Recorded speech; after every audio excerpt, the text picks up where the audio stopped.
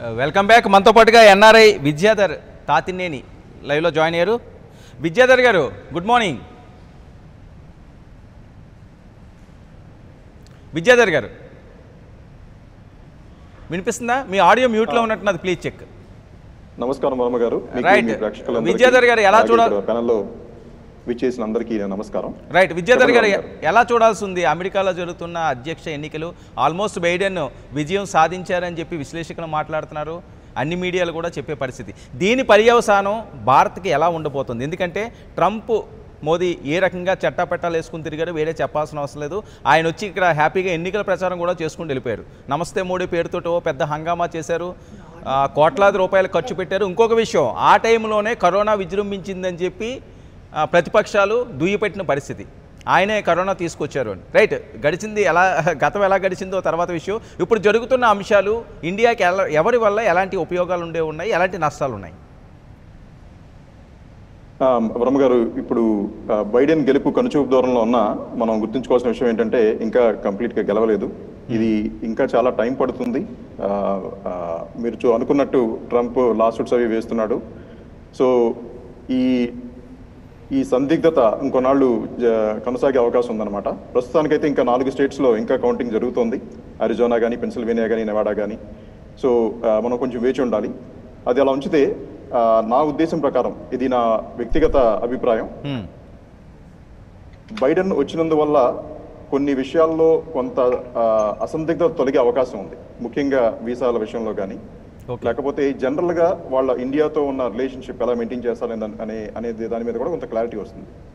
Trump ముఖ్యంగా తను ఏంటంటే వాళ్ళ ఇక్కడ అమెరికన్ల ఉద్యోగాలు ఇక్కడే ఉంచాలి అనే దాని మీద గట్టిగా పట్టుబడడం వల్ల మనం కొన్ని విషయాలు చూసాం. హెచ్ వన్ మీ మీద కొంచెం ఎక్కువగా రెస్ట్రిక్షన్స్ పెట్టడం కానీ అలాగే చైనాతో ట్రేడ్ వార్ కానీ ఇలాంటివి కొన్ని జరుగుతున్నాయి. అవి కొంత ఈజీ అయ్యే అవకాశం అయితే ఉంది డెఫినెట్గా అయితే మనం ఇప్పుడు ఇంకోటి నా- వ్యక్తిగతంగా నేను చూసేది ఏంటంటే ఫారిన్ పాలసీ అనేది సాధారణంగా ప్రెసిడెంట్కి హండ్రెడ్ పర్సెంట్ కంట్రోల్ ఉండదండి అది యాక్చువల్గా ఫారిన్ పాలసీ అంతా వాళ్ళ డిపార్ట్మెంట్స్ కానీ వాళ్ళ దాన్ని బట్టి ఉంటుంది వాళ్ళ చూసేది ఏంటంటే అమెరికాకి ఏది ఉపయోగం అనే దాన్ని బట్టే చూస్తారు వాళ్ళు. అంతేగాని మోడీ మోడీకి దానికి పెద్ద సంబంధం ఉంటుందని అనుకోలేదు మోడీ ఇక్కడికి వచ్చినా కానీ ట్రంప్ ఇండియా వచ్చినా కానీ అదంతా ఒక ఇరు దేశాల పట్ల ఉన్న ఇరు దేశాల పట్ల ఉన్న ఒక ప్రేమని పంచుకోవడం అనే దాన్ని బట్టి ఉంటుంది కానీ it is not personal relationship అది మనం అర్థం చేసుకోవాలి. సో బైడెన్ వచ్చినా కానీ మోడీ అలాగే ఆహ్వానిస్తారు. మోడీ ఇక్కడికి వస్తే అలాగే ఆహ్వానిస్తారు. అందులో తేడా ఉండదు. అయితే ఇప్పుడు వాణిజ్య రంగాల్లో కానీ వృత్తికి సంబంధించిన రంగాల్లో కానీ డెఫినెట్గా కొంత ఎక్కువ కోఆపరేషన్ ఎక్కువ మొబిలైజేషన్ ఉంటుంది.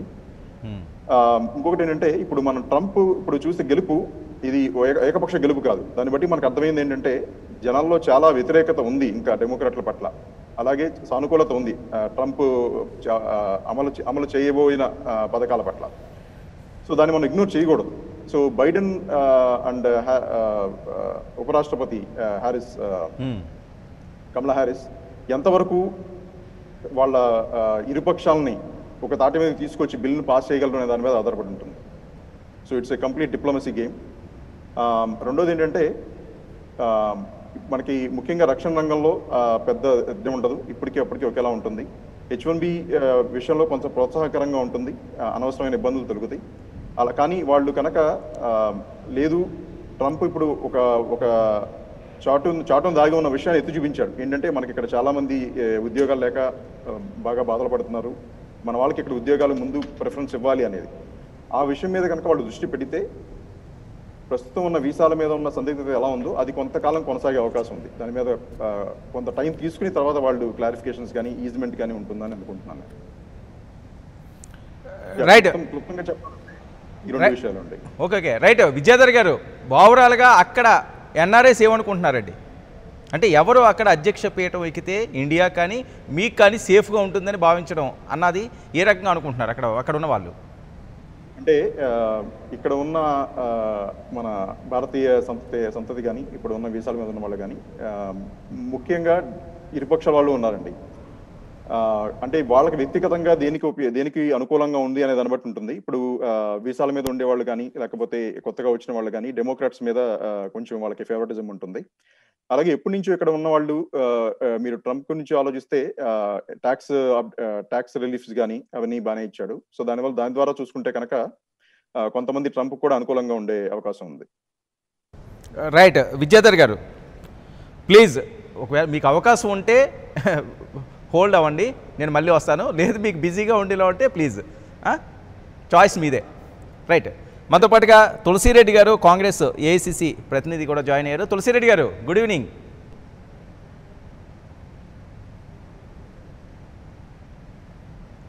తులసిరెడ్డి గారు. తులసిరెడ్డి గారు మీ ఆడియో మ్యూట్ అయినట్టున్నది ఒకసారి చెక్ చేయరా?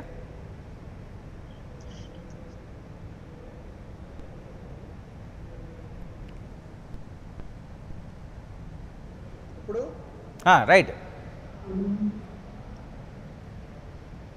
ఓకే. తులసిరెడ్డి గారు. ఓకే ఇప్పుడు. ఓకే అండి.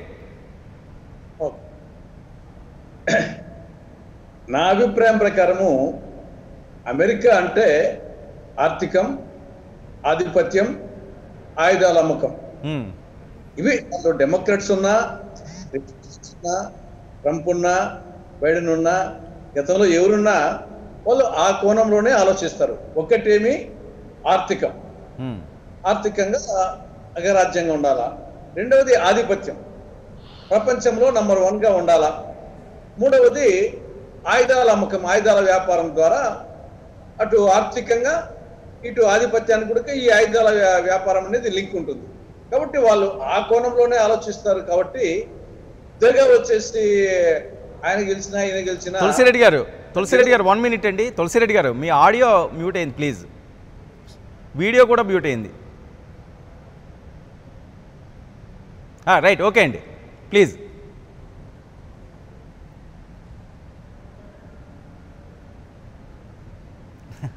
తులసిరెడ్డి గారు ఇప్పుడు ఆడియో మ్యూట్ అయింది. సారీ ఏదో టెక్నికల్ ఇష్యూ ఉంటున్నది అది. ఇప్పుడు ఓకే అండి ప్లీజ్ ప్లీజ్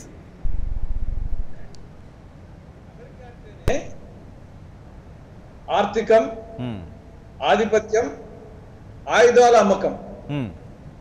కాబట్టి వాళ్ళు ఆ మూడింటిని దృష్టిలో పెట్టుకొని మా ఇంటికి వస్తే ఏం చేస్తావు? మీ ఇంటికి వస్తే ఏమి ఇస్తావు? అనే యాంగిల్లోనే ఉంటుంది వాళ్ళది. యూజువల్గా వచ్చేసి ఆ ఆయుధాల వ్యాపారం ద్వారా అటు ప్రపంచ ఆధిపత్యాన్ని ఆ యొక్క ఆర్థిక సామ్రాజ్యాన్ని ఆ రెండింటిని కాపాడుకుంటూ ఓవరాల్గా ఉంటారు కాబట్టి నాకు తెలిసి ట్రంప్ బైడెనా బైడెన్ అయినా డెమోక్రటిక్ అయినా రిపబ్లికన్ ఆ కోణంలోనే ఆలోచిస్తారు. కొంచెం తేడా ఏమంటే ఉద్యోగాలకు సంబంధించి ఈయన అమెరికా అనే అమెరికా ఫస్ట్ అనే యాంగిల్లో ఈ డెమోక్రట్స్ బయటను వచ్చేసి కొంత ఉదారవాదం ఉంటుంది కాబట్టి ఉద్యోగాల విషయంలో ఈ వీసాల విషయంలో కొంచెం డెమోక్రట్లు వస్తే బయటను వచ్చినప్పుడు కొంత అనుకూలంగా ఉండొచ్చు. మిగతా వేరే విషయంలో కొంత ప్రస్తుత పరిస్థితుల్లో మనకు చైనా పాకిస్తాను ఈ రెండు కొంత మనకి ఇప్పుడు ఇబ్బందిగా ఉంది కాబట్టి ఈ నేపథ్యంలో కొంత మరి ఎలా ఉంటుంది? ట్రంప్కి వచ్చేసి కొంత చైనా మీద కొంత యాంటీగా ట్రంప్ వచ్చేసి ఉంటాడు కాబట్టి మనకు శత్రువుకు శత్రువు మిత్రుడు అనే యాంగిల్లో కొంత ఉండే అవకాశం ఉంది ట్రంప్ ఉంటే. కానీ అయినా కానీ వాళ్ళని ముందే చెప్పినట్టు వాళ్ళు ఆర్థికంగా ఆయుధాల వ్యాపారంగా ఆలోచిస్తారు కాబట్టి ఒక యాంగిల్ ఉంటుంది. కానీ ఎనీహో మన వరకు వచ్చేసి కొంత పాకిస్తాను చైనా మనకు పక్కలో ఇబ్బందిగా ఉంది కాబట్టి ఆ కోణంలో ఆలోచించినప్పుడు కొంచెం బైడెన్ కంటే కొంచెం ట్రంప్ బెటర్గా ఉండొచ్చు.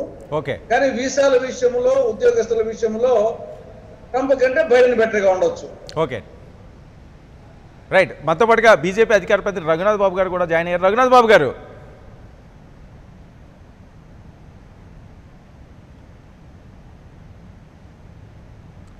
రఘునాథ్ బాబు గారు మీ ఆడియో మ్యూట్ అయింది. ప్లీజ్ ఒకసారి చెక్ చేయరా?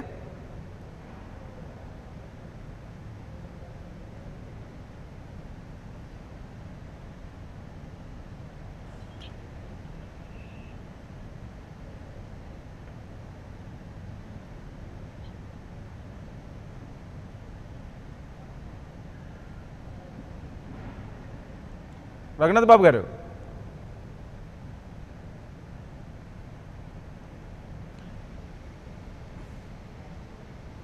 రైట్ మీ ఆడియో ఒకసారి చెక్ చేయండి నేను మళ్ళీ వస్తాను మీ దగ్గరికి. మనతో పాటుగా కళ్యాణ్ దిలీప్ శంకర్ కూడా జాయిన్ అయ్యారు ప్రముఖ న్యాయవాది. కళ్యాణ్ గుడ్ ఈవినింగ్ అండి. Good evening. అమెరికా అధ్యక్ష ఎన్నికల్ని ఏ రకంగా చూడాల్సి ఉంది? ట్రంప్తో మోడీ గారు ఏ రకంగా చట్టాపట్టాలు వేసుకుని తిరిగారు వేరే చెప్పాల్సిన అవసరం లేదు. అమెరికా భారత్ ఒకటే అన్న విధంగా తిరిగిన పరిస్థితి. ఈరోజు ట్రంప్ కానీ అధ్యక్ష పీఠం కానీ చేజిక్కించుకోకపోతే కొత్త అధ్యక్షుడు వస్తే వాళ్ళతోటి ఈ రిలేషన్ మెయింటైన్ చేసే పరిస్థితి ఉంటుందా? ఇంత క్లోజ్గా. హౌడీ మోడీ అవనియండి లేకపోతే నమస్తే ట్రంప్ అవనియండి ఎంత హంగామా ఎంత అడావుడి చేసాడు అంటే గతంలో ఎప్పుడూ లేని విధంగా భారతదేశ చరిత్రలో ఈ రకంగా అమెరికా అధ్యక్షులకి ఒక పెద్ద ఎత్తున ఇక్కడ స్వాగత సర్కారాలు పెట్టడం సుమారు వంద కోట్ల వరకు కూడా ఖర్చు చేశారని చెప్పి ఆ మధ్య ప్రతిపక్షాలు కూడా పెద్ద ఎత్తున హోరెత్తించాయి. ఎలా ఉండబోతుంది భారత్ పరిస్థితి? అమెరికా అధ్యక్ష పదవి వీళ్ళిద్దరిలో ఎవరికి దక్కితే మనకి బాగుంటుంది మంచి జరిగే అవకాశం ఉంటుంది లేకపోతే ఇబ్బందికర పరిస్థితులు ఎదురవుతాయా? సార్ ఇప్పుడు యాక్చువల్గా మీరు చాలా క్వశ్చన్స్ అన్నింటిని కూడా మిక్స్ అండ్ మ్యాచ్ చేసి అడగడం జరిగింది. But still I try to answer the best ఇక్కడ మాన్యశ్రీ ప్రధానమంత్రి నరేంద్ర మోడీ గారు no doubt he's a great charismatic leader world wide ప్రపంచవ్యాప్తంగా కూడా ఆయనకు ఆ రకమైనటువంటి ఇమేజ్ బిల్డ్ చేసుకోవడంలో ఏ విధంగానూ కూడా సంకోచించాల్సిన అవసరం లేదు. He has got good image. అయితే nation is much bigger than leader అండి. ఆ Oh. లీడర్ కాంగ్రెస్ నుంచి ఎవరైనా కావచ్చు మన్మోహన్ సింగ్ గారు కావచ్చు బీజేపీ పార్టీ నుంచి నరేంద్ర మోడీ గారు కావచ్చు రానున్న యాభై సంవత్సరాల్లో ఎవరైనా లీడర్లు కావచ్చు. కానీ nation is bigger than its leader. ఒక దేశం ఎప్పుడు కూడా తనని నడిపిస్తున్నటువంటి నాయకుడి కంటే గొప్పది. సో దేశం టు దేశం ఉండేటువంటి దౌత్యపరమైన సంబంధాలు నాయకులు మారినంత మాత్రాన దెబ్బ తీసుకునేటువంటి పరిస్థితులు ఉండవు. ఎందుకంటే అక్కడ బైడెన్ జూనియర్ వచ్చినా అక్కడ డొనాల్డ్ ట్రంప్ వచ్చినా ఇక్కడ నరేంద్ర మోడీ గారు వచ్చినా రేపు ఇంకో నాయకుడు వచ్చినా కూడా ఇది వ్యక్తి ఆధారిత దేశాలు కాదు. You almost travel in par with democracy. Our, our both countries share the same platform of democracy. So ఇక్కడ డెమోక్రట్స్కి రిపబ్లిక్స్కి మధ్య ఉన్నటువంటి డిఫరెన్స్ ఏంటంటే రిపబ్లికన్ పార్టీస్ జనరల్గా మిగతా దేశాలకు సంబంధించినటువంటి విషయాల్లో అత్యధికంగా ఇన్వాల్వ్ అవ్వవు అంటే ఇప్పుడు మన డొనాల్డ్ ట్రంప్ ఇండియా వచ్చినప్పుడు ఇక్కడ సిఏఏకి సంబంధించి నిరసన జ్వాలు వినపడుతున్నప్పుడు మీరు భారతదేశంలో ఉండగానే జరుగుతుంది కదండి. మీరు దాని మీద కామెంట్ చేయమన్నప్పుడు ఆయన చేయలా. కానీ మీరు రెండు వేల పదిహేను ట్రైన్లో చూస్తే బారక్ ఒబామా గారు ఇండియా వచ్చినప్పుడు ఢిల్లీలో ఆల్మోస్ట్ ఓ రకంగా చెప్పాలంటే రిలీజియస్ టాలరెన్స్ గురించి బీజేపీకి క్లాస్ తీసుకెళ్ళినంత ఆ స్థాయి వ్యాఖ్యలు చేశారు. ఎందుకంటే ఇక్కడ ఏమవుతుందంటే డెమోక్రాట్స్ యొక్క విధానం ఎలాగ ఉంటుంది almost like more close to secular things కొద్దిగా లోకి ఇప్పుడు కాశ్మీర్ గురించి ఇదే బైడెన్ గారు వ్యతిరేకించారండి. ఇప్పుడు ఇండియన్ ప్యాట్రియాటిక్నెస్తో బాగా అనుసంధానంగా ఉన్న వ్యక్తులు ఏం చూస్తారు? బైడెన్ రాగానే వీటిలన్నింటినీ తిరగదోడతాడు మాడతాడంటే సి ఇట్ ఈస్ ఇప్పుడు ఆయన ఒక్కడే ఏమి చేయలేడు. యునైటెడ్ నేషన్స్ ఏదైనా అంశం ఉందనుకోండి ఓన్లీ బైడెన్ సిఫార్సుతో ఎన్ని తలకిందులుగా మారిపోవు. కాకపోతే ఆయన అభిప్రాయం చెప్పే అధికారం ఉంటుంది. ఎందుకంటే మనం ఒక లీడింగ్ పవర్ కింద ఎదగాలనుకుంటున్నాం ప్రోగ్రెసివ్ నేషన్ కింద ఉన్నాం. ఖచ్చితంగా మన నేషన్ ఇంకొక నేషన్ పట్ల తీసుకున్నటువంటి ఏదైనా విధానమో లేకపోతే త్రీ సెవెంటీ ఉపసంహరణ సంబంధించో వీటి మీద వాళ్ళ స్థాయి వ్యాఖ్యలు వాళ్ళు చేస్తారు. కానీ వాళ్ళు ఏదో ప్రభావితం చేసేయగలుగుతారు మొత్తం మార్చేయగలుగుతారు ఇంకా. ఇక డ్రా- ట్రంప్ గారు ఓటమికి సంబంధించి కర్ణుడు మరణానికి వెయ్యి కారణాలు అన్నట్టు రకరకాల కారణాలు. ఆయన ఇంపల్సినెస్ అవనివ్వండి ఇతర దేశాధ్యక్షులతో ఆయన పెట్టుకున్నటువంటి గొడవలు అవనివ్వండి ఆయన స్పీడ్గా తీసుకున్న నిర్ణయాలు అవనివ్వండి. భారతదేశానికి మిత్రుడు మిత్రుడు అన్నారు మీరు. ఆయన ఇంపల్సినెస్ ఒకసారి పాండమిక్ సిచ్యువేషన్ ఊహించండి. కేవలం హైడ్రోక్లోరిక్విన్ గురించి ఏకంగా బెదిరింపు వ్యాఖ్యలు చేశాడు ఆయన. మీకు అర్థమవుతుందా? హైడ్రోక్లోరిక్విన్ ఎవరా? ఎవరంటే చూసుకుంటారంటే ఇవన్నీ కనపడకుండా ప్రభావితం Hmm. ఎందుకంటే నేనేమంటానంటే ఇక్కడ ఎలక్షన్ అయిపోయింది అవ్వలేదు అనేటువంటిది మనం అప్పుడే డిసైడ్ చేయలేకపోవచ్చు. ఎందుకు అంటే ఇదే ట్రంప్ విషయంలో చాలా మంది పాయింట్స్ మర్చిపోతారు. ఆయన మాట్లాడితే కోర్టుకు వెళ్తా కోర్టుకు వెళ్తాను ఎందుకు అంటున్నాడు? ఇదే ట్రంప్ హయాంలో నీల్ గౌరిష్ కానీ బ్రెట్ కెనవా కవనవా అనేటువంటి సుప్రీం కోర్టు జడ్జిల నియామకం కానీ ఫెడరల్ కోర్ట్స్లో సుమారు రెండు వందల లైఫ్ టైం సుప్రీం రెండు వందల లైఫ్ టైం జడ్జి పోస్టులు కానీ ఆయన నియామకం జరిగింది ఆయన హయాంలో. మీకు అర్థమవుతుందండి. సో మామూలుగా మన భారతదేశంలో కాదు. అక్కడ ఒకసారి సుప్రీంకోర్టు జడ్జో లేకపోతే అక్కడ ఉన్న హయ్యర్ కోర్టుకి జడ్జి కింద నియమించబడితే ప్రాణం పోయేదాకా జడ్జి కింద ఉంటారు. మీకు అర్థమవుతుందా? సో ఆ నియామకం అంతకుముందు డొనాల్డ్ ట్రంప్ గారికి ముందున్న ట్రైన్లో ఒకళ్ళో ఇద్దరు జడ్జిల నియామకం జరగడం కష్టంగా ఉండేది. కానీ ఈయనకు వచ్చిన అదృష్టమో ఈయనకు వచ్చినటువంటి ఆ గుడ్నెస్ తెలియదు కానీ ఈ కోర్టులు జుడిషియరీకి సంబంధించిన నియామకాల్లో ఈయన పరిధిలో మాత్రం ఏం చేయగలుగుతాడో చేశాడు. అలాగే నాలేదో జడ్జిలు తప్పుదోవ పట్టేసి ఈయనకి ఏకపక్షంగా ఇచ్చేస్తారని కాదు. అక్కడ ఫైవ్ ఇస్ టు ఫోర్ రేషియోలో నడుస్తుంది. బైడెన్ సపోర్ట్గా ఫోర్ మెంబర్స్ అయితే ట్రంప్కి సపోర్ట్గా ఫైవ్ మెంబర్స్ కానీ అది కోర్టులో లా సూట్ అనేది ఈ కౌంటింగ్ అయిపోయిన తర్వాత వెళ్తుంది. ఇప్పుడు అక్కడ కూడా ట్రంప్ ఎలిగేషన్ చేసినంత మాత్రాన సరిపోదు. That allegation have to be proved in the. Federal laws.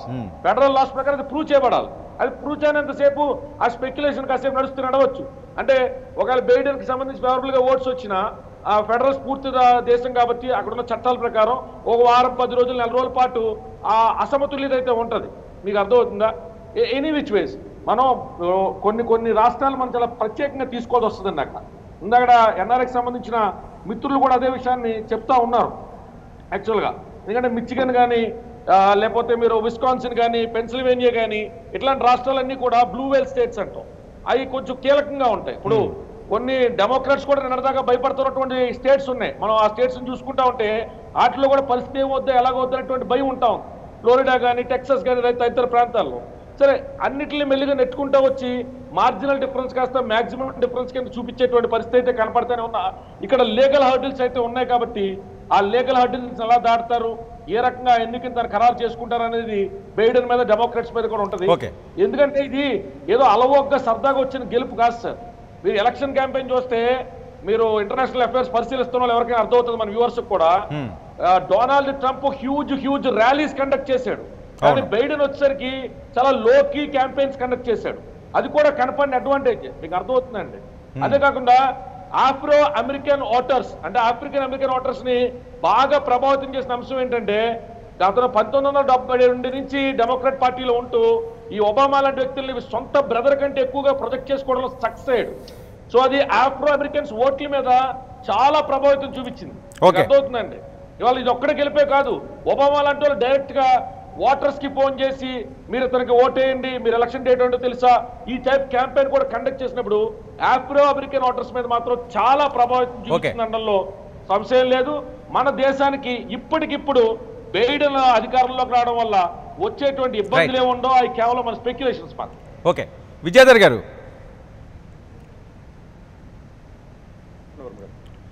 విజయధర్ గారు ఫైనల్గా చూస్తున్నాం ఉత్కంఠగా సాగుతున్నది ఏ టైంలో ఏదన్నా జరగచ్చు అని చెప్పి విశ్లేషకులు మాట్లాడే పరిస్థితి. రైట్ ఏదైనప్పటికీ కూడా నిన్నటి వరకు కూడా ట్రంప్ ఏదో విజయోత్సవాలు చేసుకోండి మనదే గెలుపు అని చెప్పి మాట్లాడిన వ్యక్తి కొద్దిగా తికమక పడుతున్నారన్నట్టుగానే అనిపిస్తున్నది. రైట్ ఇంకొకటి ఏదైనప్పటికీ కూడా సుప్రీంకోర్టు మెట్లెక్కుతానని చెప్పి ఆయన మాట్లాడే పరిస్థితి. అంటే గెలుపు మీద ఏమన్నా భయం ఏర్పడిందంటారా? లేకపోతే ఇంకా ఓట్ల లెక్కింపు చేయాల్సిన కొన్ని కొన్ని ప్రాంతాలు ఉన్నాయి కాబట్టి వాటిల్లో ఏవైనా ట్రంప్కి విజయావకాశాలు తీసుకొచ్చే అవకాశాలు ఏమైనా ఉన్నాయి అక్కడ? ఫైనల్గా ప్లీజ్ కన్క్లూడ్ చేయండి ఆ, ఇది ముందుగా అనుకున్నది అండి ఎక్కువగా మెయిలిన్ నోట్లు అంటే ఎక్కువగా అది డెమోక్రాట్స్కి ఫేవర్ అవుతుంది. ఎందుకంటే మెయిలిన్ నోట్లు చేసే వాళ్ళందరూ ఎక్కువగా డెమోక్రాట్స్ ఫేవరబుల్గా ఉంటారనే ఒక అంచనా ఎప్పటి నుంచో. సో అందుకని ట్రంప్ ముందుగానే ఊహించి ఈ విషయం కూడా ముందుగానే చెప్పాడు. నేను తేలిక ఒప్పుకోను ఈ ఓట్ల లెక్కింపులో కూడా చాలా గొడవ జరిగే అవకాశం ఉంది. నేను లాసూట్లు వేస్తాను. అదే తను చేస్తున్నాడు కూడా. సో అందుకని ఈ బైడెన్ ఒకవేళ విజయం వచ్చినా కానీ అది తీర్మానించడానికి కొంత టైం పడుతుంది. సో అదొక విషయం అండి. రెండోది మీరు ముగించమన్నారు కాబట్టి ఇప్పుడు బైడెన్ వచ్చినా ట్రంప్ వచ్చినా మన భారతదేశానికి వచ్చే నష్టం అయితే పెద్దగా ఏమి ఉండదండి Okay. ఇమీడియట్గా ఒక రకంగా ఈ అమెరికా మీద ఆధారపడి ఉన్న వ్యాపార వాణిజ్య రంగాలందరికీ కొంత క్లారిటీ అనేది వస్తుంది. ఇప్పటి వరకు అది అది కొరవైంది ఇప్పుడు కొంత క్లారిటీ వస్తుంది. ఇక మనం భారత విషయం కాకుండా ముందుగా ట్రంప్ చేసిన కొన్ని పనులు ఇది ప్యారిస్ అకార్డ్ నుంచి వెనక్కి రావడం కానీ అలాగే world health world health organization నుంచి వెనక్కి రావడం కానీ అలా ప్రపంచ స- స- సమాజం నుంచి అమెరికాని ఒక మూలకు తీసుకొచ్చేసారు ఇది నేను అన్నిట్లోనూ నేను పాలు పంచుకోను మీ దారి మీది నా దారి నాది అన్నట్టుగా. అలా కాకుండా ఇవన్నీ ఇవన్నీ కొంచెం రోల్ బ్యాక్ అయ్యే అవకాశం ఉంది. ప్యారిస్ గ్రీన్ డీల్ కానీ ఆ రకంగా చూసుకుంటే కనుక మనకి ఈ పర్యావరణ సంబంధిత ఏమన్నా ఉంటే కనుక అమెరికా మీద సంబంధాలు ఉంటే కనుక అవి బాగా ఇంప్రూవ్ అయ్యే అవకాశం అయితే ఉందనుకుంటున్నానండి. Right okay. Thank you Vijayadhar గారు. మీ విలువైన సమయాన్ని మాతో కేటాయించి లైవ్లో జాయిన్ అయినట్టు జాయిన్ అయినందుకు thank you. Thank you very much అండి విజయధర్ శివరామ్ గారు. తులసిరెడ్డి గారు ఇది ఓవరాల్గా. అమెరికా మీద అగ్రరాజ్యం అనే ఒక అభిప్రాయం వచ్చేసి పోయేదానికి ఆస్కారం కలిగింది ఇటీవల మొత్తం పరిణామాలు చూసినప్పుడు జనరల్గా అందరికీ ఇన్నున్నాయి కానీ అమెరికా అంటే అగ్రరాజ్యము అనే ఒక ఒపీనియన్ ఇటీవల ఈ కరోనా విషయంలో కానీ కరోనా పాజిటివ్ కానీ కరోనా డెత్స్ కానీ ఈ ట్రంప్ మాట తీరు చూసినా కానీ ఆయన వ్యవహార శైలి చూసినా ఇప్పుడు ఎన్నికల విధానం చూసినా కానీ ఇది అగ్రరాజ్యం అనే ఇంప్రెషన్ క్రమేణా పోయింది లోపల. ఆల్మోస్ట్ ప్రపంచ దేశాన్నిట్లో ఈ వన్ బై వన్ ఈ ఎన్నికలు మరింత దానికి యాడ్ చేస్తా ఉంది. కాబట్టి ఇప్పటికీ మరి ఇంకా మనకంటే ఓటర్స్ తక్కువగా ఉండేది అగ్రరాజ్యం అని పేరు. ఆ విధంగా పోల్చుకుంటే మనం చాలా బెటర్ ఏమో డెమోక్రసీలో కానీ మిగతా విషయాల్లో కానీ అనిపించేట్టుగా వాళ్ళని అగ్రరాజ్యం కాదనిపించే పరిస్థితిలో ఉంది. సరే ఏది ఏమైనా మనకు గతంలో ఒబామా అన్నప్పుడు మనతో రిలేషన్స్ కూడా మన ఈవెన్ ప్రైమ్ మినిస్టర్ మన్మోహన్ సింగ్ను గురువు అని కూడా సంబోధించిన నేపథ్యం. కాబట్టి బహుశా కాకపోతే ఏమంటే రష్యా చైనా ఈ నేపథ్యం ఉన్నప్పుడు గతంలో మనం రష్యాకు అనుకూలంగా ఉన్నప్పుడు ప్రపంచంలో అమెరికా రష్యా రెండు పోలరైజ్ ఉన్నప్పుడు మనం రష్యాకు అనుకూలంగా ఉన్నప్పుడు జనరల్గా కొంత ఆ నేపథ్యంలో ఎవరున్నా డెమోక్రట్స్ ఉన్నా రిపబ్లిక్స్ ఉన్నా కొంత మనకు అంత అనుకూలంగా ఉండేవాళ్ళు కాదు. కానీ ఇప్పుడు రష్యా స్థానంలో చైనా వచ్చింది కాబట్టి చైనా అనేది డెఫినెట్గా వచ్చేసి మన వరకు వచ్చేసి పొరుగు దేశము. ఎప్పటికైనా అనుకూలత ఉండదు మనకు చైనాకు. సరే సేమ్ పాకిస్తాన్కు కానీ పాకిస్తాన్ కంటే కూడా చైనా అనేది మనము రష్యాతో ఉన్న విధంగా చైనాతో ఉండలేం కాబట్టి డెఫినెట్గా అమెరికాకు భారత్కు ఎవరున్నా కొంత చైనా దృష్టిలో పెట్టుకొని కొంత బెటర్ రిలేషన్స్ ఉంటాయని నా అభిప్రాయం. ఓకే. భద్రతా భద్రతా సమితిలో బహుశా ట్రంప్ ఉంటే కనుక మనకు శాశ్వత సభ్యత్వం వచ్చే అవకాశాలు ఎక్కువ ఉండేటి. ఇప్పుడు ఆ స్థాయిలో అవకాశాలు ఉంటాయా ఉండవా అనేది ఒక కొంచెం ఆలోచించాలి. రైట్ ఓకే భద్రతా సమితిలో. ఓకే ఓకే రైట్ మనతో పాటుగా రఘునాథ్ బాబు గారు జాయిన్ అయ్యారు. రఘునాథ్ బాబు గారు గుడ్ ఈవినింగ్ రఘునాథ్ బాబు గారు వినిపిస్తుందా? సార్ మీ ఆడియో మ్యూట్లో ఉంది.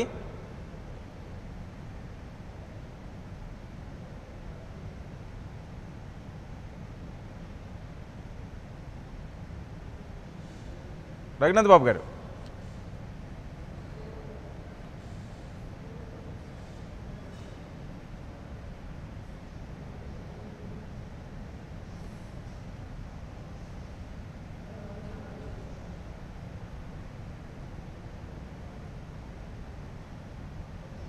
ఆడియో మ్యూట్లో ఉంది ఒకసారి ఆన్ చేయండి. రఘునాథ్ బాబు గారు.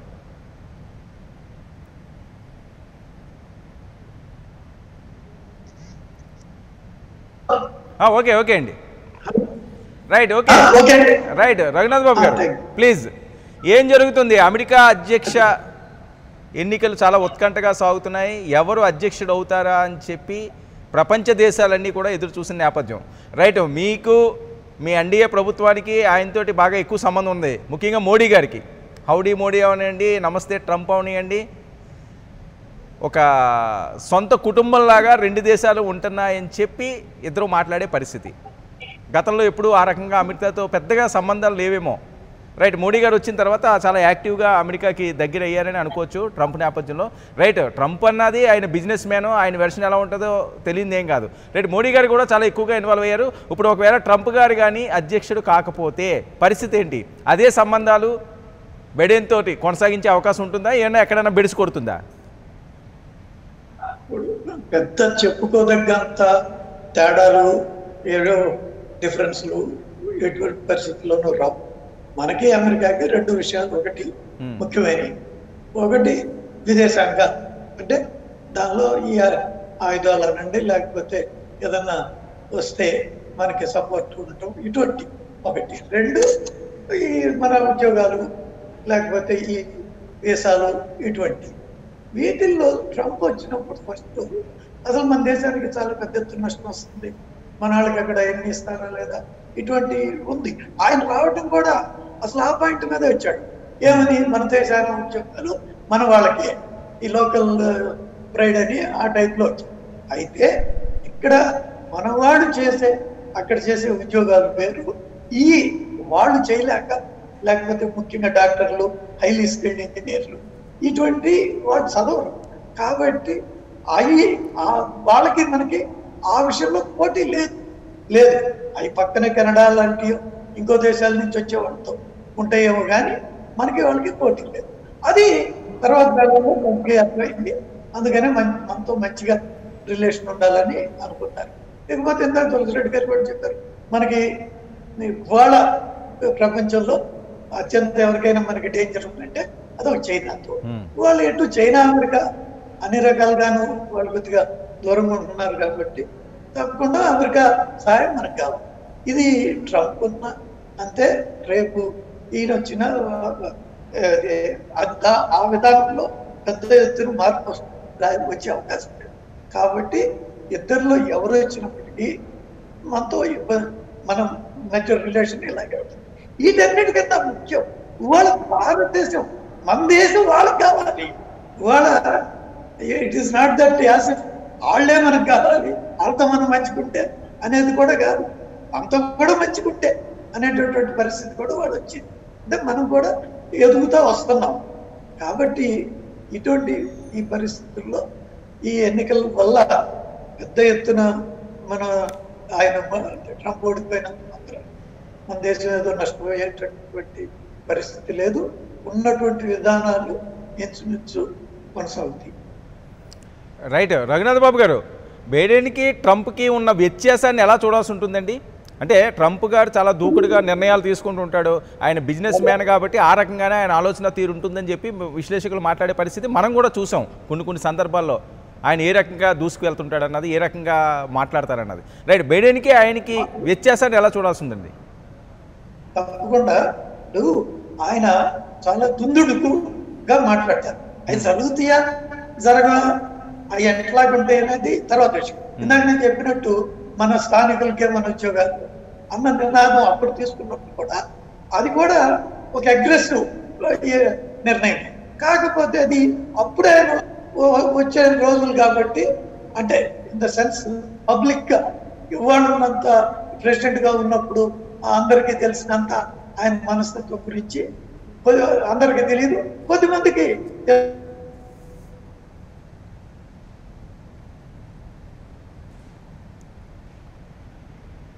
రఘునాథ్ గారు ఆడియో మ్యూట్ అయింది.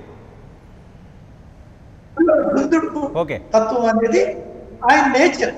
కాబట్టి ఇప్పుడు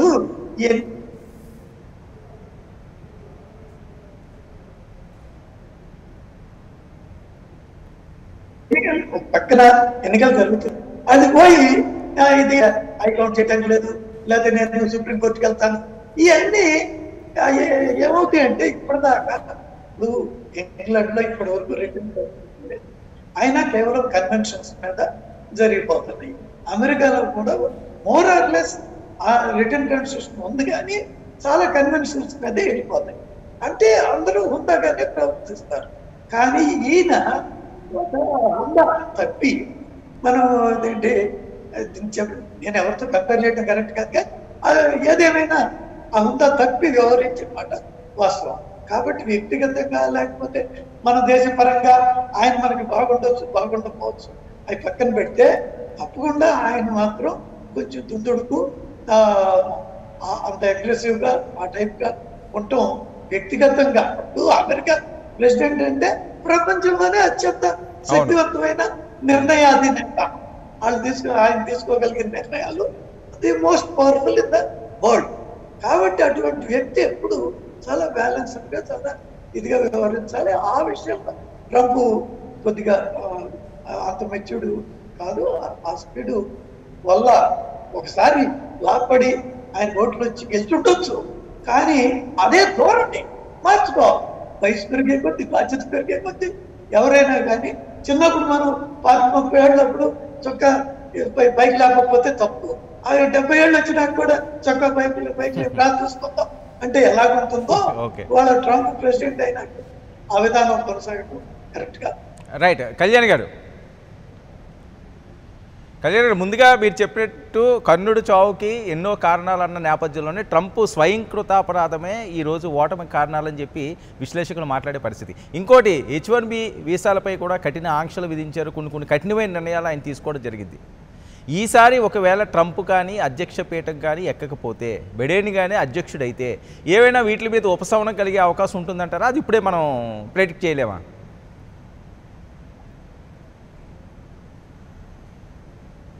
దిలీప్ మీ ఆడియో మ్యూట్ అయింది ఒకసారి చెక్ చేయండి. సరే ఇప్పుడు ఎప్పుడన్నా మీరు డెమోక్రాట్స్ అధికారంలో ఉన్నప్పుడు కనుక మీరు చెక్ చేస్తే మ్మ్. వాళ్ళేదో రేసిస్టిక్ థాట్స్లో అక్కడ ఉన్నటువంటి అమెరికన్లో ప్రొఫైల్ సిటిజన్స్లో ఉన్నటువంటి ఆలోచనల్ని పెంపొందించి దాని ద్వారా రాజకీయం చేద్దాం అనుకో. మీరు ఎప్పుడైనా చూడండి మీరు. మీకు అవును. అర్థమవుతుందండి? ఇప్పుడు బారాక్ ఒబామా గారి త్రయం కంటే ముందు త్రయం నుంచి కూడా మనం మాట్లాడుకోవచ్చు.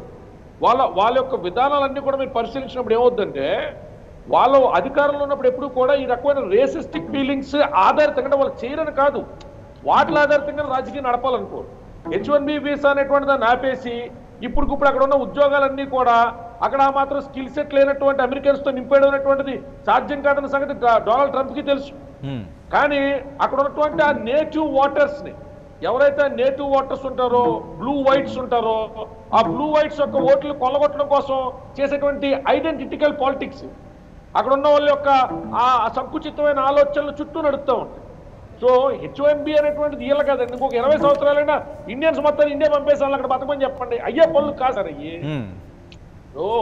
చైనా ప్రొడక్ట్స్ మనం ఒక్కసారిగా ఆపేద్దాం అనుకుంటాం. కానీ అది క్రమేపీ జరగాలి. మీకు అర్థమవుతుందా? ఇవాళ రాత్రి రేపొద్దున్న ఆపేసి మన దేశం సర్వే అవ్వలేదంటే సర్వే అవుతుంది. ఎందుకంటే మనదేమి టెక్నాలజికల్ గ్యాడ్జెట్స్ ఆధారిత దేశం కాదు. చైనా లేకపోతే బతకలేకపోవడానికి. కానీ ఆ అవసరం ఉన్నటువంటి భారతీయులు దృష్టిలో పెట్టుకుని మనం ఆలోచించిన ఒక్క రోజులో ఏది జరగదు.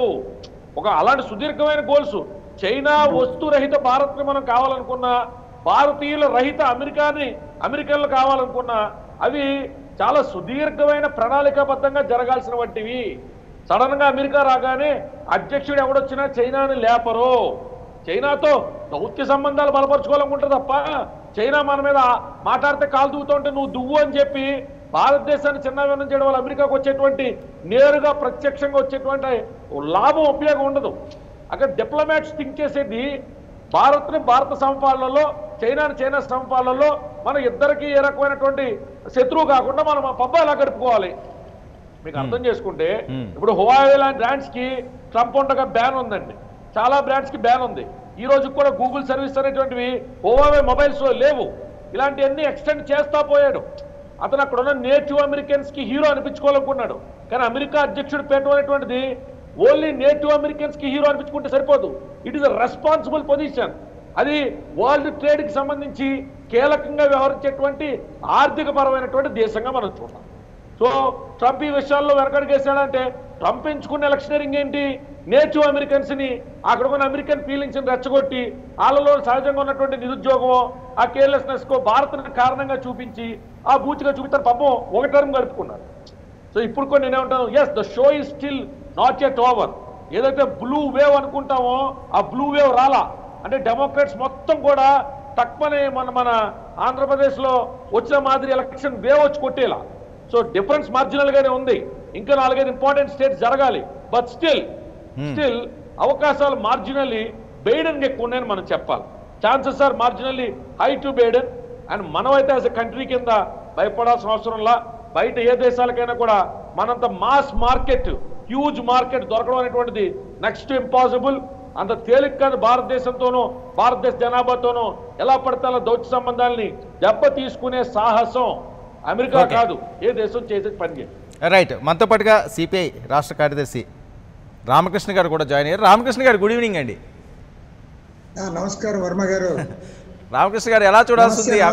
రైట్ అమెరికా అధ్యక్ష ఎన్నికల్ని ఏ రకంగా చూడాల్సింది? మీ విశ్లేషణ ఏంటి? ఎవరు గెలిస్తే భారత్కి మంచి అవకాశాలు ఉంటాయి లేకపోతే దెబ్బతినే అవకాశాలు ఉంటాయా లేకపోతే ఎవరైనా ఒకటేనా మనకి?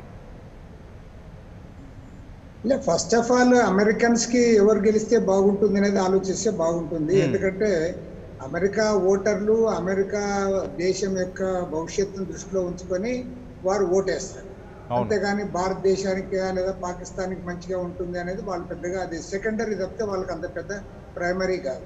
తర్వాత ఈ ఎన్నికల్లో ట్రంప్ ఏదైతే ఉందో ఒక కమ్యూనిస్టు వ్యతిరేకతను ప్రబలంగా రెచ్చగొట్టాడు ఆయన ఎంత Hmm. దూరం పోయాడంటే అసలు బైడెనే కమ్యూనిస్ట్ అన్నట్లుగా ఈయన గెలిస్తే మొత్తం చైనా వచ్చి చేస్తుంది ఈయన కమ్యూనిస్టు అని చెప్పి కూడా ఆయన సభల్లో ప్రచారం చేశాడు కాబట్టి ఏమంటే కమ్యూనిస్టు వ్యతిరేకతను రెచ్చగొట్టడం ద్వారా చైనా పట్ల ప్రజల్లో వ్యతిరేకతను రెచ్చగొట్టడం ద్వారా ఈ ఎన్నికల్లో గెలవాలని ఆయన ప్రయత్నం చేశాడు తప్ప ఆయన గత గతంలో ఎన్నికైనప్పటి నుంచి ఇప్పటి వరకు ఆయన చేసిన పనులు ఏమిటి? దానివల్ల అమెరికా ఏ రకంగా అభివృద్ధి అయింది? ప్రపంచ దేశాల్లో అమెరికా యొక్క ప్రతిష్ట ఏ మేరకు పెరిగింది? ఆ విషయాల జోలికి ఆయన పెద్దగా పోలేదు.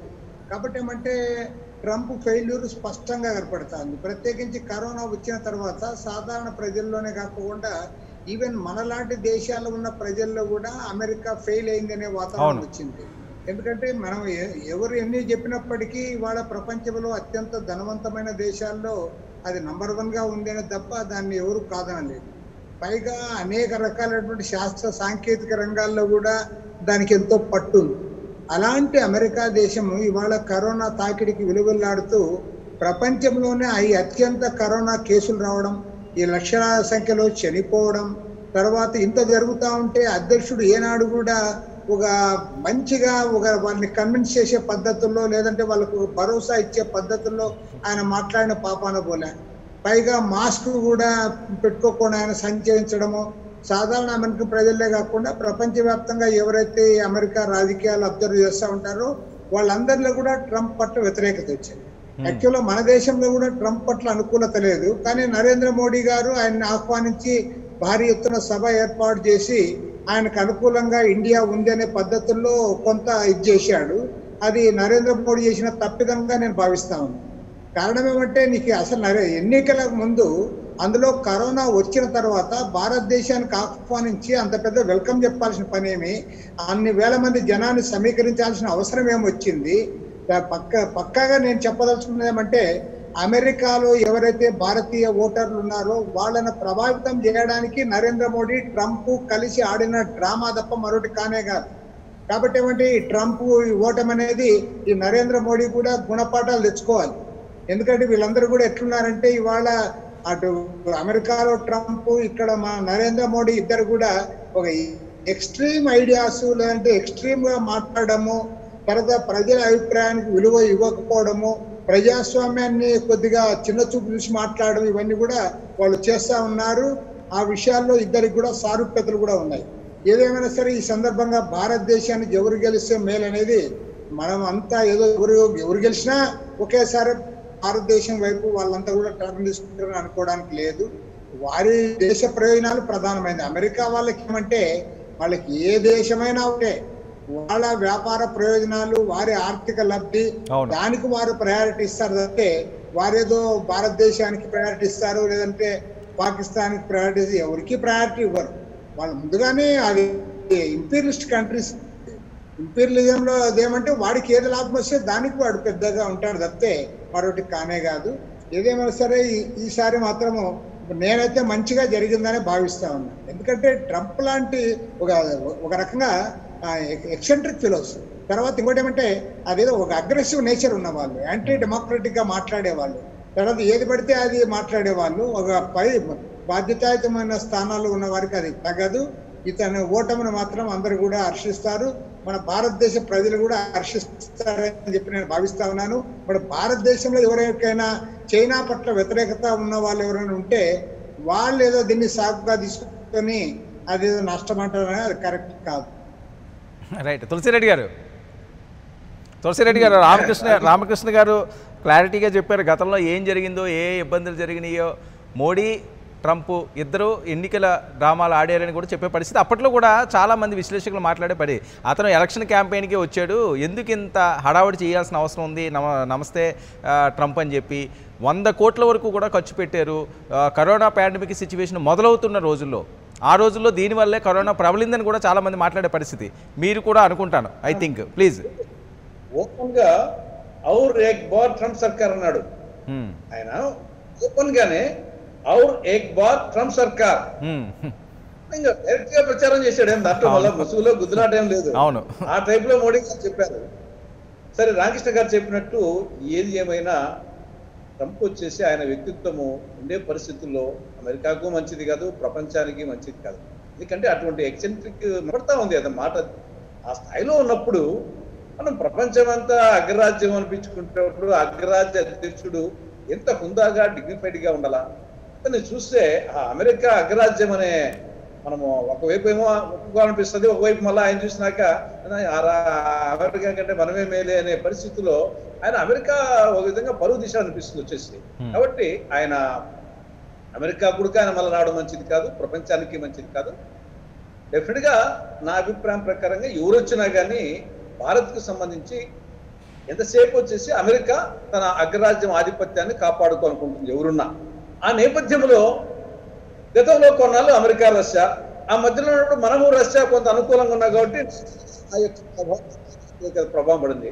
మళ్ళా అమెరికా వన్ సైడ్ అయిపోయిన తర్వాత ప్రపంచంలో ఏకధ్రువం అయిన తర్వాత ఆ పరిస్థితి లేకుండా పోయింది. మళ్ళీ ఇటీవల కొంత అమెరికాకు చైనా కొంత ఆ పరిస్థితికి వచ్చింది కాబట్టి న్యాచురల్గా చైనాకు మనకు రష్యాకు మనకు ఎప్పుడూ మంచి సంబంధాలే. కానీ చైనాకు మనకు అంత మంచి సంబంధాలు లేవు కాబట్టి న్యాచురల్గా అమెరికాలో ఎవరున్నా కానీ వాళ్ళకు వచ్చేసి చైనా పోటీతత్వంలో ఉంది కాబట్టి మనకు చైనా బార్డర్లో ఉంది కాబట్టి కొంత డిఫరెన్స్ ఉన్నాయి కాబట్టి ఎవరు వచ్చినా కానీ ఆయన వచ్చినా ఆవిడ అతను వచ్చినా కానీ డెఫినెట్గా మనకు కొంత ఆ విదేశాంగ విధానంలో కొంచెం అనుకూలంగా ఉంటారు. కానీ రామకృష్ణ గారు చెప్పినట్టు ఫైనల్గా వాళ్ళది వ్యాపార దేశము. ఆయుధాల అమ్మకము వాళ్ళ ఆధిపత్యము వాళ్ళ ఆర్థికము అవి కాపాడుకుంటూనే దాంట్లో ఆ ఆధిపత్యానికి కొంత మనము చైనాను దృష్టిలో పెట్టినప్పుడు మన అవసరం కాబట్టి కొంత యాంగిల్ ఆలోచిస్తారు. తర్వాత ఉపాధ్యక్షురాలు కమలా హ్యారిస్ కూడా కొంత ఇండియన్ సంతతి కొంత తమిళియన్ సంతతి కాబట్టి ఆ నేపథ్యం అది కూడా కొంత ఉపయోగపడడానికి ఆస్కారం ఉంటుంది. కాబట్టి ఎవరు వచ్చినా పెద్ద డిఫరెన్స్ ఉండదు కానీ ట్రంప్ వచ్చేసి ప్రపంచానికి ఆ దేశానికి కూడా ఆయన పోతేనే మంచిది. అగ్రాజ్యం హోదా మళ్ళా నిలబెడడానికి అవకాశం ఉంటుంది. ఆయన ఉంటే వాళ్ళు ఎంత చెప్పుకొని చెప్పినా కానీ ఎందుకో కన్న కఠోరంగా అనిపిస్తుంది నాకు అమెరికా అగ్రాజ్యనాలంటే మనసు ఒప్పుకోవడం ఉంది ఆ ట్రంప్ చూసిన తర్వాత. ఆయన. మాట తీరు ఆయన బిహేవ్ చూస్తే ఒప్పుకోబుద్ధి కాడుంది అగ్రాజ్యం అంటే. కళ్యాణ్ గారు ట్రంప్ అమెరికా అధ్యక్షుడు అవడం వల్ల ఆ హుందాతనం దెబ్బతినిందని మాట్లాడే పరిస్థితి. మీరేం చెప్తారు? కళ్యాణ్ మీరు ఆడియో మ్యూట్ అయింది ఒకసారి చెక్ చేయండి. కాదు సార్ ఇప్పుడు రాజకీయంగా ఎదిగేటప్పుడు ఉద్యమాల్లోనో లేకపోతే ప్రజల ఆకాంక్షలను ప్రతిబింబించేటువంటి అంశాలను పరిగణలో తీసుకోవడమనో సర్వసాధారణంగా జరుగుతూనే ఉంటుంది.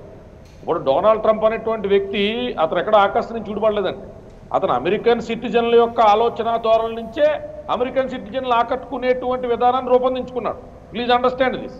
Hmm. ఇప్పుడు తెలంగాణ ఉద్యమాన్ని రూపొందించుకున్న కేసీఆర్ తెలంగాణ ఉద్యమం ఆలోచన ఎక్కడి నుంచి వచ్చిందండి? తెలంగాణ ఉద్యమం అనేటువంటి ఇక్కడ ప్రజల్లో నానాటికి కింద ఉన్నది కాబట్టి దాన్ని అతను పైకి తీసుకొచ్చాడు దాన్ని యూటిలైజ్ చేసుకుని something X or Y or Z నాయకులు ఎప్పుడూ కూడా నిద్రానంగా ఉన్నటువంటి ప్రజల్లో ఆ ఉన్న ఆకాంక్షని వాళ్ళు బేస్ చేసుకుని వాళ్ళు నెక్స్ట్ లెవెల్కి ఎలివేట్ అవుతారు. దానికి డొనాల్డ్ ట్రంప్ కూడా అతీతమేం కాదు. ప్రపంచంలో ఆల్మోస్ట్ అన్ని నమూనాలు ఒకేలాగా ఉంటాయి.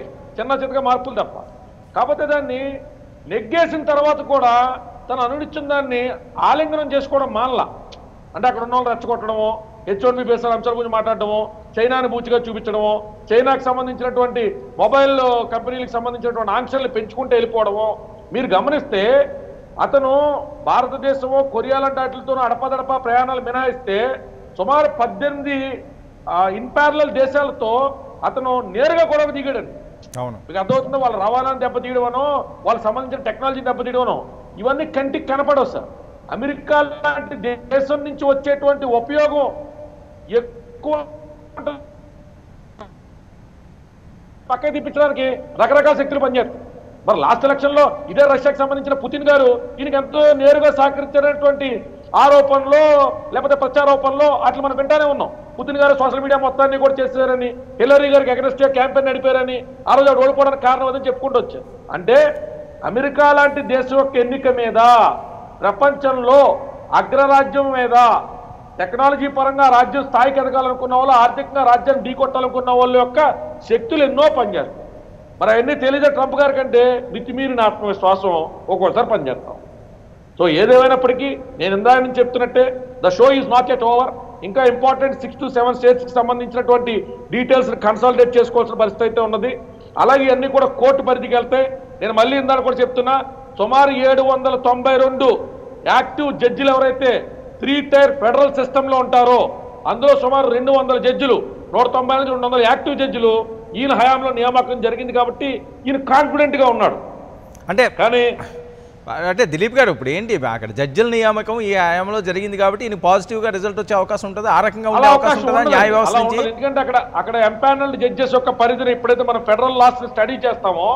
అక్కడ ఇప్పుడు మన సుప్రీంకోర్టు ఎలాగైతే త్రిసభ్య బెంచనో ఐదుగురు సభ్యులు బెంచనో తొమ్మిది మంది బెంచనో ఉంటుందో మెజారిటీ ప్రివేల్స్ ఆయన ఇక్కడ మెజారిటీ జడ్జిలు ఉన్నారు కాబట్టి ఈయన ఆశ చెప్తున్నా. ఈయన కోణంలో ఈయన ఏమనుకుంటాడు ఎవరు ఎంత కాదన్నా అరే నా టైంలో. ఎందుకంటే అక్కడ జడ్జి పోసిన అంటే ఏదో రెండేళ్ళు మూడేళ్ళు ఐదేళ్ళు ఇచ్చినట్టు కాదు సార్. బతికొంటే జడ్జు. ఇక చచ్చిపోయేదాకా జడ్జే. మీకు అర్థమవుతుంది ఒక్కసారి ఫెడరల్ సిస్టంలో కనుక అక్కడ హయ్యర్ కోర్ట్స్కి జడ్జిగా నియమించబడితే ఇంకా వాళ్ళకి జీవితంలో మారు భాగ్యం అలాంటి భాగ్యాన్ని ఈయన రెండు వందల మందికి సుప్రీంకోర్టులో ఇద్దరికి కూడా ఈయన అప్పగించాడు. సో ఆయన కాన్ఫిడెన్స్ ఆయనకు ఉండొచ్చు. ఎందుకంటే ప్రపంచ దేశాలు కూడా ఊరుకోగా వాళ్ళు ఇష్టం వచ్చినట్టు ఫెడరల్ రాష్ట్రంలో మార్పులు చేర్పులు చేసేసుకుంటే ప్రూవ్ చేయాలి. ట్రంప్ ప్రూవ్ చేయాలి. Allegation is different proving is different so we all have to wait healthily for one more week అండి ఒక వారం తర్వాత మనం ఎవరికైనా కూడా క్లారిటీ వచ్చేటువంటి అవకాశం. రైట్ రామకృష్ణ గారు. రైట్ తులసిరెడ్డి తులసిరెడ్డి గారు ఫైనల్గా కంక్లూడ్ చేయండి సార్. ఓవరాల్గా ఎలా చూడాల్సి ఉంది తొందరగా అయిపోతే మేలు. లేకుంటే ఇది యొక్క చర్చలు పెట్టుకుంటే ఏం జరుగుతుందని మాట్లాడుకోవడమేనా? ప్రపంచం అంతా ప్రశ్న పెడుతుంది. ఈ తొందరగా పరిష్కారం తొందరగా సమస్య తెగిపోతే బాగుంటుంది. బహుశా వచ్చేసి ఆ, చూస్తే అవకాశాలు బైడెన్కే నైంటీ పర్సెంట్ బైడెన్కి ఉన్నట్టుంది. ఒక టెన్ పర్సెంట్ ట్రంప్కే ఉండొచ్చేమో. కానీ ఏదైనా తొందరగా పరిష్కారం అయిపోతే బాగుంటుంది. భారతదేశానికి సంబంధించి పెద్దగా డిఫరెన్స్ ఏముండదు కానీ ఈ టెన్షన్ తొందరగా పోతుంది. అంతే తప్ప దానివల్ల ఎవరు గెలిచినా పెద్దగా మనకు అంత ఆందోళన పడాల్సిన అవసరం లేదు అంత సంతోషపడాల్సిన అవసరం లేదు. సూర్యోదయము సూర్యాస్తమయం అన్నట్టు మామూలుగా జరుగుతూ ఉంటాయి అంతే. అంటే చాలా దేశాలు ట్రంప్ అధ్యక్షుడిగా ఉండకూడదనే కోరుకునే పరిస్థితి. వాళ్ళ ఆశలే నెరవేరుతున్నట్లుగా అనిపిస్తున్నది ప్రస్తుతం ఉన్న పరిస్థితి అయితే విశ్లేషకులు మాట్లాడేది. నాకు అంటే ఆయన అన్యాయం చేశాడా అది కాదు కానీ మెయిన్గా ఆయన మాట తీరు. ఉమ్. ఆయన బిహేవియర్ అనేది జనరల్గా కొంత మరి ఆ దేశంలో వచ్చేసి లోకల్ పీపుల్ రెచ్చగొట్టడానికి కళ్యాణ్ గారు చెప్పినట్టు అది ఉపయోగపడింది కానీ కనీసం గెలిచిన తర్వాత మళ్ళీ మార్చుకోవాలి. అది మా ఒకవేళ ఓట్ల కోసం పాటలు వెళ్ళొచ్చు కానీ తర్వాత వచ్చి ఇంత అమెరికా అగ్రరాజ్య అధిపతి చాలా హుందాతనంగా ఉండాల్సిన అవసరం ఉంటుంది. తర్వాతనే మారాలి. మాట తీరు బాగాలేదు. అది మెయిన్గా మనలాంటి వాళ్ళు కొంచెం దాన్ని సరే ఆయన అభిమానించే వాళ్ళు ఉంటారు ఆ టైప్ వాళ్ళు అభిమానించే వాళ్ళు కొందరు ఉంటారు మనము. సమాజంలో చూస్తున్నాం కదా. కానీ ఎంతగానో మంచిది ఆ స్థాయిలో ఆ డిగ్నిటీ అనేది అవసరం అని అనిపిస్తుంది. రైట్ కళ్యాణ్ గారు ఫైనల్గా ఏమైనా కంక్లూడ్ చేస్తారా? నేను అదే చెప్తున్నాను సార్. అంటే ఇప్పుడు ఇది నిజంగానే మన దేశానికి సంబంధించినటువంటి చాలా మంది నాయకులు కూడా ఏదన్నా ఒక అంశ ఆధారితంగా రాజకీయాలు చేసేటువంటి వ్యక్తులందరికీ కూడా ఇదో రకమైనటువంటి ఆలోచింపజేసేటువంటి అంశమే. ఎందుకంటే ఎక్కువ రోజులు మనం ఆ రకమైన ఫేవర్లో ఉంచలేము సార్. జనాల్ని కులవనో మతమనో ప్రాంతమనో మనం గిరిగీసి ప్రజల ఆలోచనల్ని తాత్కాలికంగా తప్ప శాశ్వతంగా ఎప్పుడు ఆపలేం. సెక్యులర్ స్ఫూర్తి మాత్రమే ప్రపంచం మొత్తంలో నాయకుల్ని ఎక్కువ కాలం నిలబెట్టగలుగుతారు తప్ప మనం మనం సెక్యులర్ స్ఫూర్తిని దాటి కనుక వ్యవహరిస్తే ఎక్కువ రోజులు ప్రజలు ఆ మాయలో ఉండరు సార్. అది మాయే. ఎందుకంటే we are humans first religion caste creed and issues are next ఆ హ్యూమెన్ వాల్యూస్ మనం ఎంత వద్దనుకున్నా మనలో పాతుకుపోయిన కులతత్వం ఉన్నా మనం ఏదో రోజు ఏంటే ఎదగోలా అని మనమే అనుకుంటాం. మీకు అర్థమవుతుందండి? అంటే ఇది ఎక్కువ రోజుల నుంచి మనిషి మధ్య ఇంకా స్పష్టంగా లాస్ట్ వర్డ్లో చెప్పాలంటే వ్యతిరేకత వ్యతిరేకత మధ్య మనుషుల్ని ఉంచలేము అవి దేశాల దేశాలకు మధ్య అవనివ్వండి ప్రాంతాల ప్రాంతాలకు మధ్య అవనివ్వండి కులాల కులాలకు మధ్య అవనివ్వండి. మనిషి మనిషితో సంతోషంగా ఉండాలనుకుంటాడు. కులం రూపేణ మతం రూపేణ నాయకులు రెచ్చగొట్టి తాత్కాలికంగా ఆ వైషమ్యాలు కలగజేసిన మనిషి హేట్రెడ్ని అంటే ఆ ద్వేషాన్ని నింపుకుని ఎక్కువ రోజులు బతకలేడు. మనిషి ప్రేమతత్వరుడు సార్. ద్వేషం ఎంతకాలం ఉంచుకుంటాడు? ఇప్పుడు చైనా అనేసో రష్యా అనేసో అమెరికా అన్నది అమెరికన్స్కి తెలియదా మొన్న ఏం జరిగిందేంటో? హెల్త్ కేర్ మీద ఎంత ఇన్వెస్ట్ చేశాడో? అక్కడ ఉన్నటువంటి టాప్ మోస్ట్ హాస్పిటల్స్లో కూడా హెల్త్ కేర్ కిట్స్ కూడా ఎంత అందుబాటులో ఉంచాడో? అక్కడ ఉన్న ప్రజలు చైతన్యవంతులు కదండి. ఎక్కువ శాతం మంది విద్యావంతులు ఉన్నారుగా. అంటే ఇంగ్లీష్ మాడే వాళ్ళందరూ చైతన్యవంతులు చెప్పలేం మనం. ఇంగ్లీష్ వాళ్ళ మాతృభాష. బట్ అక్కడ విద్యావంతులు ఎక్కువ మంది ఉన్నారు. సోషల్ అవేర్నెస్ ఎక్కువ ఉంటది. పైగా ఈ గెలుపు కూడా ఏదో నేను అత్యున్నతమైన గెలుపు అని నేను చెప్పను. డెమోక్రాట్స్ కూడా. It is a marginal winning it is only marginal winning వాళ్ళు కూడా కత్తిమే స్వామేనండి రేపు నుంచి. ఎందుకంటే ఆరు కోట్ల అరవై లక్షల ఓట్లు ఆయనకు వస్తే ట్రంప్ గారికి ఆరు కోట్ల తొంభై ఆరు లక్షలతో ఈయన రికార్డు సృష్టిస్తాడు. యాజ్ ఆన్ డేట్ ప్రస్తుతానికి అయితే ఒకవేళ ఏడు కోట్లకి వెళ్ళినా కూడా ఈయన ఆ ఉన్న మార్జిన్ ముప్పై నలభై లక్షలు అంటే చాలా మార్జినల్ డిఫరెన్స్ సార్ అవును. సో వీళ్ళకి కూడా రేపు నుంచి ప్రతి అంశంలో ఒళ్ళు దగ్గర పెట్టి పరిపాలన చేయాలి. Right okay. థ్యాంక్ యూ అండి. కళ్యాణ్ దిలీప్ శంకర్ చర్చలో పాల్గొన్నందుకు థ్యాంక్ యూ తులసిరెడ్డి గారు థ్యాంక్ యూ రామకృష్ణ గారు థ్యాంక్ యూ రఘునాథ్ బాబు గారు థ్యాంక్ యూ విద్యాధర్ తాతినేని గారు. ఇది ఇవాళ prime debate. Stay with us